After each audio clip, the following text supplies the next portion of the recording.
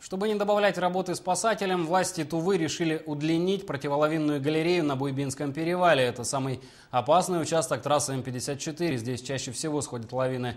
Полка, так галерею прозвали в народе, появилась более 20 лет назад. Сейчас, чтобы избежать человеческих жертв, ее решили удлинить на 100 метров в одну сторону и почти на 600 в другую. Работы длятся уже 5 лет. Строительство почти не мешает движению автотранспорта. Дорогу перекрывают тогда, когда идут особо опасные работы. Объект очень сложный и дорогостоящий, почти 700 миллионов рублей. Заказчик строительства – Кызыл. А вот деньги федеральные. Закончить работы должны к декабрю 2013 года. Ну, она важна в основном для тех, кто ездит в Туву и, допустим, из Тувы в регион. Здесь лавины сходят. Здесь вот в 2008 году был перемет, машины стояли около недели.